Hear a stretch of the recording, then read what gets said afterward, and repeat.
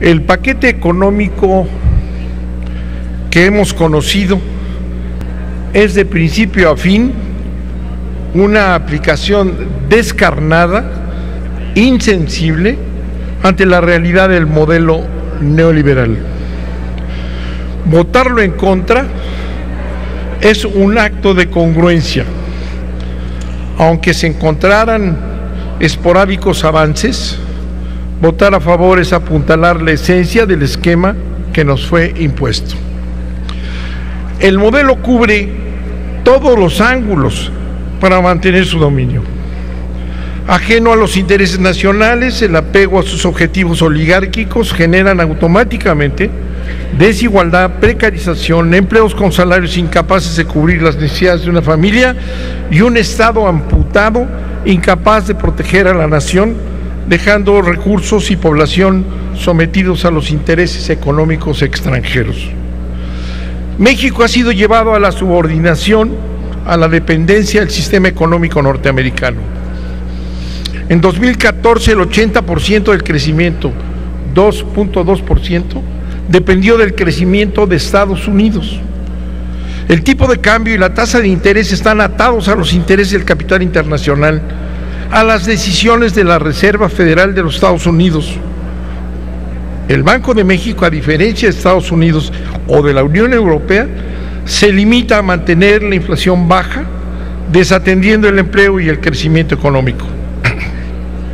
El tipo de cambio asegura ganancias extraordinarias para inversionistas. Las subastas les permiten especular, no contender, no contener el, tipo de cambio. El poder del capital financiero especulativo no responde a regulación alguna. Así el mercado de divisas peso dólar de 135 mil millones de dólares diarios no beneficia en lo absoluto a la mayoría de los mexicanos. La tasa de interés responde al mercado de dinero manejado en su beneficio por el capital financiero internacional. La inflación. Nuestra economía está determinada para garantizar altos niveles de rendimiento al capital financiero internacional.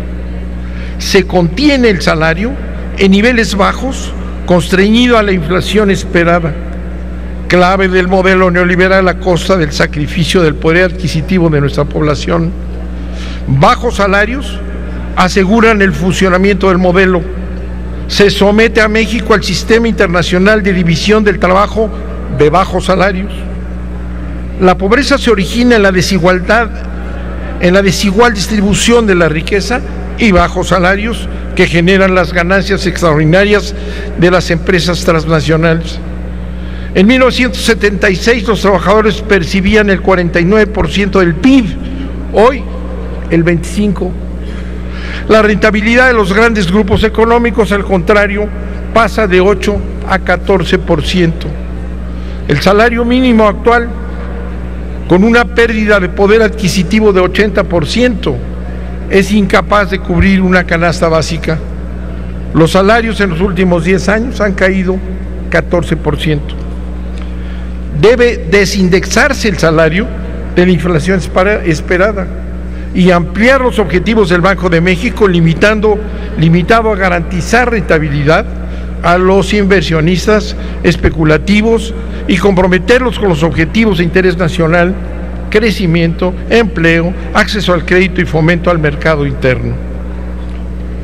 El modelo neoliberal genera dependencia de la inversión externa y el mecanismo económico queda prisionero para sostener su rentabilidad, llevándonos a mayor vulnerabilidad y fragilidad.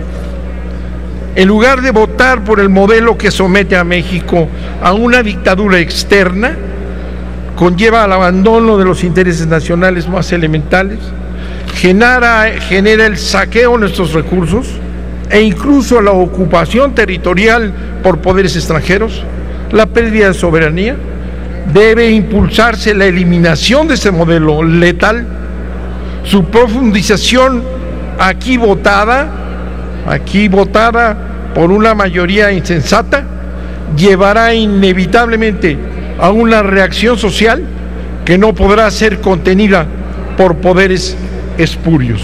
Muchas gracias, señor presidente. Solicito a la Secretaría.